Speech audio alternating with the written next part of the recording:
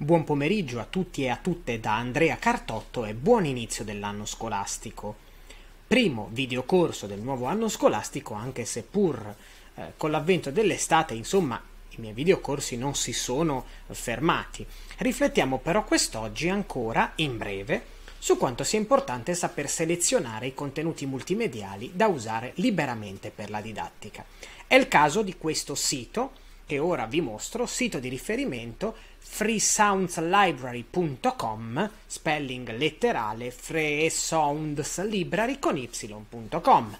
In sintesi, un archivio correttamente normato, cioè con uso legale, di suoni in formato MP3 da poter scaricare ed usare liberamente. Eh, nasce questo ehm, questo mio videocorso da una segnalazione dell'amico Albano Battistella anche tramite la sua pagina educativa su Facebook che vi invito a visionare Zorino S Education Italia. Ma veniamo a noi. Come si utilizza questo sito apribile da un qualsiasi browser anche da un dispositivo mobile? Allora, in alto in inglese ho le categorie che differenziano i suoni. Io per esempio prendo Animal Sounds mi viene in mente la scuola dell'infanzia, la scuola primaria, ma in realtà vedo utilizzi anche per la secondaria, volendo magari implementare un elemento audio in un elaborato o in una eh, qualunque realizzazione digitale. Vediamo un pochettino ad esempio single dog hoof sound, suono di cane, ma vi ripeto ci sono suoni eh, di ambiente e numerose altre categorie. Un clic sul triangolo consente naturalmente di ascoltare prima.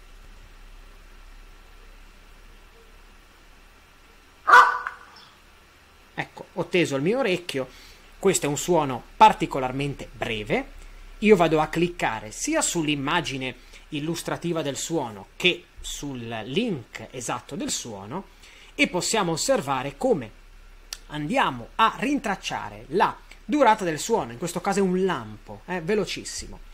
Quanto dura? Il peso, 42 kB, un soffio, la qualità del formato MP3, 320 kbps. Per darvi un'idea, eh, questi sono suoni di ottima qualità perché la media di un brano musicale in MP3 che di solito noi ascoltiamo è di 128. Quindi qui abbiamo anche una buona qualità. Inoltre, in basso, tasto azzurro download MP3 che ci consente dunque di scaricare il nostro suono. Importante la licenza d'uso. License, CC sta per Creative Commons, l'alternativa al copyright, una licenza vera, in questo caso licenza attribution di attribuzione, valevole a livello internazionale, in parole molto povere, devo utilizzare questo suono ed è gradito, per non dire necessario, che in realtà io metta nella mia sitografia o nei crediti in fondo al mio elaborato elementi multimediali oppure suoni tratti da Free Sounds Library, semplicemente. Andiamo a scaricare.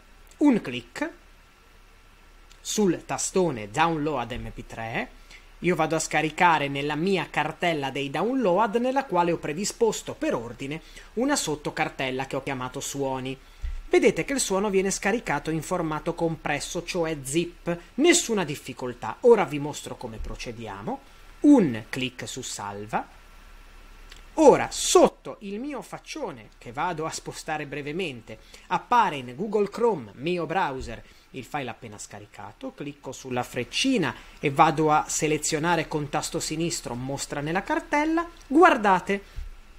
Allora, Windows sistema operativo apre comunque di suo i file compressi ma è possibile anche utilizzare, come faccio io, un ottimo programma gratuito, legale ed open source 7zip, 7-zip, che apre con un doppio clic oppure con il tasto destro del mouse qualunque file compresso.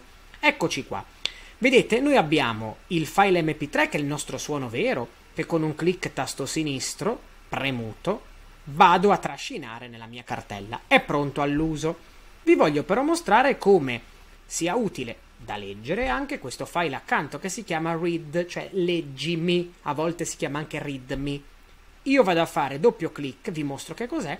Questo è il testo esplicativo della licenza. Vedete? Licenza di attribuzione 4.0 internazionale. Sei autorizzato a usare questi effetti sonori royalty free, liberi da licenza, insomma da diritti per intenderci, nei progetti multimediali per uso commerciale o non. Ecco perché è importante, ce lo ricordiamo, trovate anche qui sul mio canale YouTube Trainer Andrea videocorsi sullo stesso tema, è importante la ricerca attiva delle fonti, cioè fare e mostrare ai nostri alunni come andare a ricercare e selezionare quei contenuti multimediali idonei ad essere impiegati nella didattica senza nuocere a nessuno o senza appropriarci di qualcosa che non sia nostro. Un caro saluto dunque, ancora buon anno scolastico, un anno scolastico diciamo in salita, ma in realtà con la scuola che resta e dovrà restare baluardo educativo di ogni società che si voglia definire civile. Vi do già appuntamento al prossimo videocorso. Ciao!